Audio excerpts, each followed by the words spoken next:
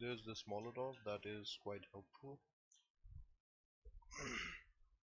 so what you do is you come here and you see this distinctive looking patch on this brick.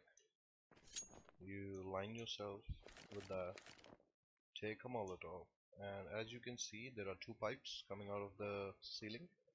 Aim for the shorter one.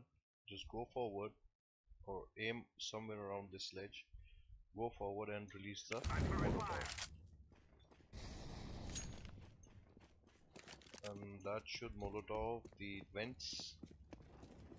Yep went straight inside the vent. So if anyone is waiting for